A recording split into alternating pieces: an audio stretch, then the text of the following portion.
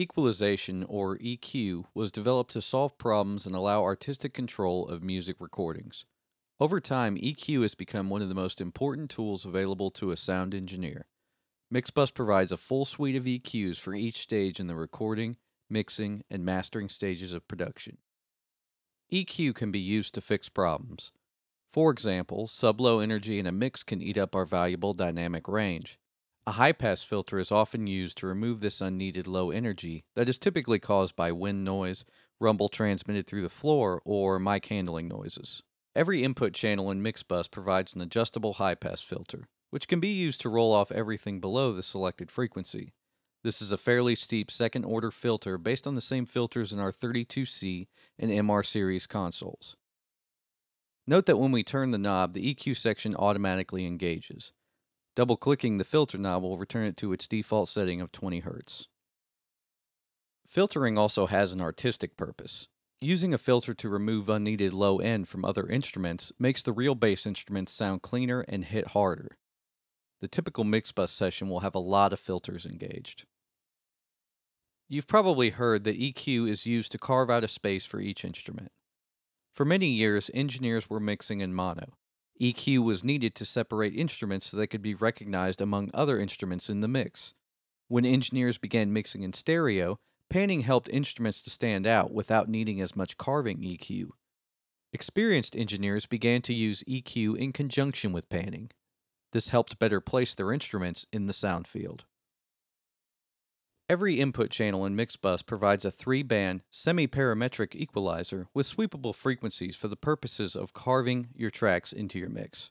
These EQs are based on our 32 and MR series consoles.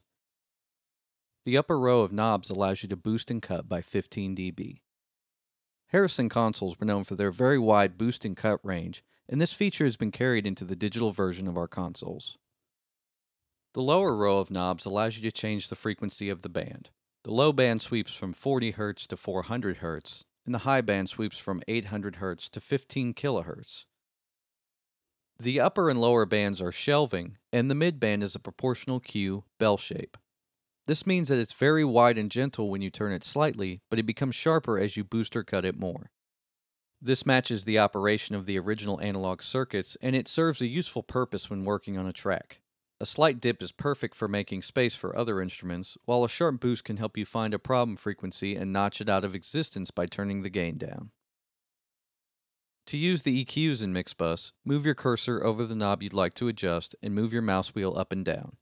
If you'd like to make smaller adjustments, hold Control while you click and drag a knob. If you made an adjustment you don't like, simply double click the knob to return it to its default value. The knobs in Mixbus will appear dull when nulled, this helps us to see which knobs have been tweaked in a session. The combination of a low frequency EQ and high pass filter can clean up sub low energy while boosting mid bass. I like to use this technique with my bass guitars. Here is a visual representation of the frequency response of my kick drum and bass guitar. There's a lot of mud in the low end where these two instruments overlap. I can high pass my bass above the low end thump of the kick drum and accentuate the frequencies just over the filter. This creates a nice little low end bump for my bass guitar, so it doesn't sound thin even though I filtered the bottom end off. Mixing requires a combination of engineering and artistic tasks, and the track EQs and mix bus are designed to meet your needs. The high pass filter cleans out unneeded low frequencies so your bass instruments can stand out clearly. The low and high shelving EQs provide a way to boost or cut treble or bass frequencies over a wide or narrow range and the midband EQ provides the ability to accentuate an instrument's character or notch out an unwanted tone. When your tracks are filtered and EQ'd properly, they stand out clearly and there's less need for compression. This makes a better and more natural sounding mix.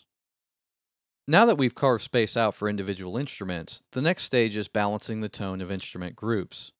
If you've grouped your instruments together into the eight mix buses, you have a perfect opportunity to set the overall tone control here.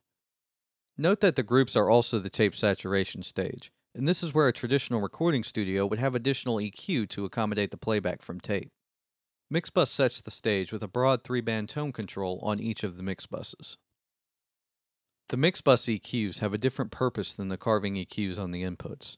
They boost and cut less than the input EQs, but have a wider frequency range. These are good for the broad tone controls that help fit instruments more neatly into your mix. For instance, if I have a mix bus for my acoustic guitars and a mix bus for my electric guitars, I can add a little mids to one and take away from another to help them fit together just a little better. The mix bus EQs can also help with plugins.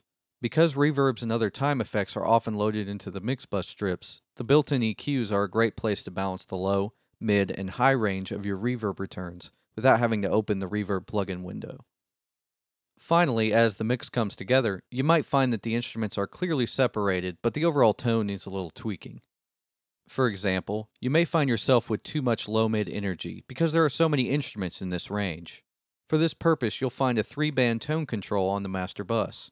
The master EQ range is only plus or minus 6 dB, giving you very fine control at the end of your mix, and the frequencies are preset to ranges that often need tweaking at this stage.